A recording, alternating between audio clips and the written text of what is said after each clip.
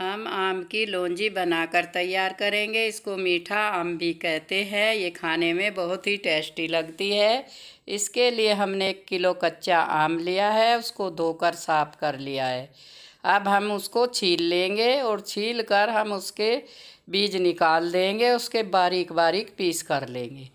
इसके लिए हमें इन चीज़ों की ज़रूरत पड़ती है। कटे हुए आम, गुड़ और मसाले। अब हम गैस पर एक पैन रखेंगे, उसमें हम दो चम्मच तेल डालेंगे, आधा चम्मच राई डालेंगे और उसमें एक चम्मच सौंफ डालेंगे। सौंफ डालने के बाद हम इसमें एक चम्मच जीरा डालेंगे। जीरा डालने के बाद हम इसमें आधा चम्मच मेथी दाना डालेंगे और इन सबको हम अच्छी तरह से चटका लेंगे। जब ये अच्छी तरह से रोस्ट हो जाएँगे तो हम इसमें कटे हुए आम डाल देंगे और उनको इस मसाले में दो मिनट तक मिलाएँगे। मसाला भूनकर तैयार हो गया है। अब हम इसमें कटे हुए आम डाल देंगे और उनको हम दो मिनट तक इस मसाले में मिला लेंगे। दो मिनट भूनने के बाद हम इसमें पिसे हुए मसाले डालेंगे। दो मिनट हो चुके हैं, अब हम इसमें एक चम्मच हल्दी डालेंगे, एक चम्मच काश्मीरी लाल मिर्च डालेंगे और स्वाद के अनुसार नमक डालेंगे। इसमें हम काला नमक भी डाल सकते हैं और दोनों नमक को आधा आधा करके टेस्ट के अनुसार डाल सकते हैं। हमने सादा ही नमक इसमें डाला है। स्वाद के अनुसार नमक डालने के बाद हम इन सबको इसमें मिला लेंगे। अच्छी तरह से मिल जाने के बाद हम इसमें पानी डालेंगे। मसाले को हमने अच्छी तरह से मिला लिया है और आम में मसाला लग चुका है। अब हम इसमें दो कप पानी डालेंगे।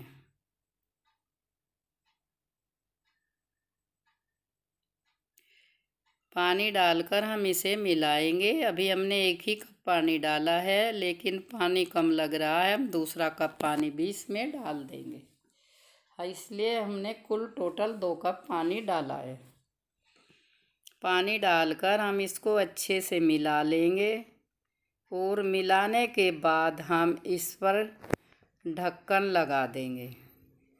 जब तक इसमें उबाल आता है, तब तक हम इस पर ढक्कन लगा देंगे। जब अच्छा सा उबाल आ जाएगा, तब हम ढक्कन को हटा देंगे।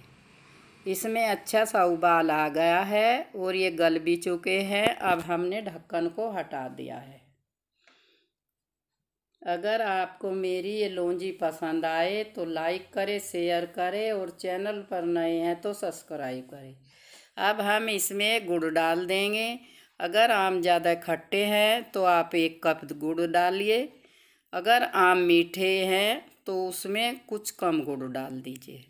गुड़ आपके स्वाद पर निर्भर करता है। किसी को ज़्यादा मीठा पसंद होता है, किसी को कम।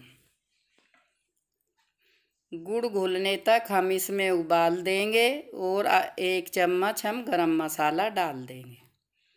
आप पूरा वीडियो देखा करें जिससे कोई चीज़ मिस ना हो और चीज़ बिल्कुल परफेक्ट बने।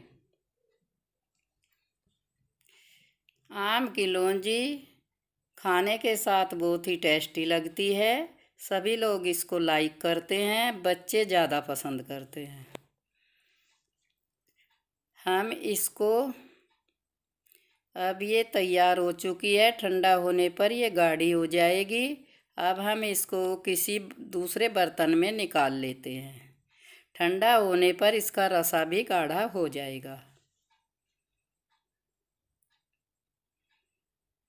हम इसको निकालने के बाद इसको ठंडा करेंगे और ये पंद्रह दिन तक रुक जाती है। अगर आप इसको फ्रिज में रखें।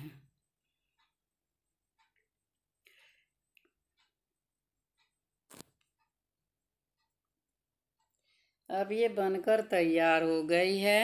आम की लौंजी पूरी तरह से बनकर तैयार हो गई है। ये रेसिपी बहुत ही टेस्टी लगती है और खाने का स्वाद भी बढ़ाती है।